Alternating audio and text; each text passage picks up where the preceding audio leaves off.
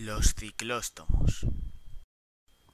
En algunos lagos habitan unos seres peculiares conocidos vulgarmente como los vampiros acuáticos.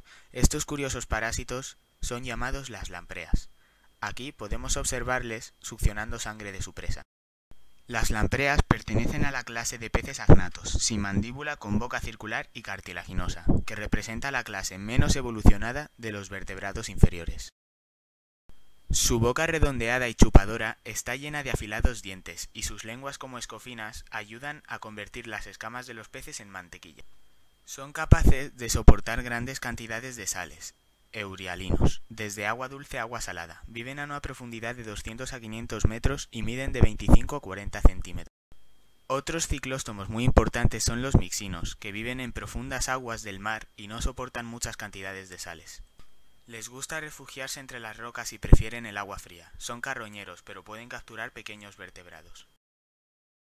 A los ciclóstomos se les conoce con el nombre de monorrinos, ya que solo poseen una cavidad nasal, pero respiran branquialmente. Destacan por su antigüedad, ya que se sabe que aparecieron hace más de 470 millones de años. Son peces parásitos que han invadido zonas que tradicionalmente pertenecían a otros habitantes acuáticos como la trucha.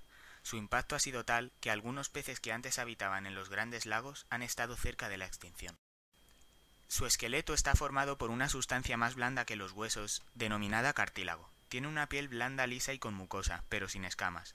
Poseen una serie de branquias externas que les sirven para respirar, con un sistema sensorial que divide formando tres líneas, la dorsal, la lateral y la ventral. Por último, cabe destacar su aleta dorsal anterior, posterior y la aleta caudal.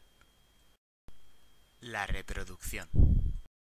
Su reproducción es ovípara, con una fecundación externa. Cuando ellos nacen maduran sexualmente en el mar, y por eso las lampreas tienen que migrar desde sus ríos para en un futuro conseguir reproducirse. Una vez madurados vuelven al lugar donde nacieron para poner sus huevos. Los machos deben construir un nido de piedras, que algunas llegan incluso al tamaño de una pelota de béisbol, y las apilan ayudándose con su boca para que la corriente no se lleve los huevos. Impregnan el agua con sus feromonas sexuales a grandes cantidades para atraer a las hembras y así concluir el proceso. Existe entre ellos el hermafroditismo, que es una capacidad que tienen ciertos seres vivos de poseer características sexuales tanto masculinas como femeninas. Eso permite que se pueda reproducir cualquier animal con otro siempre que sean de la misma especie, e incluso pueden llegar a autofecundarse pero aún así también pueden reproducirse mediante sexos separados, y cuando empieza la fecundación el agua se llena de eyaculaciones. Una vez depositados los huevos, los padres mueren debido al cansancio que produce el esfuerzo sexual. La siguiente generación se asegura, pero la presente se destruye.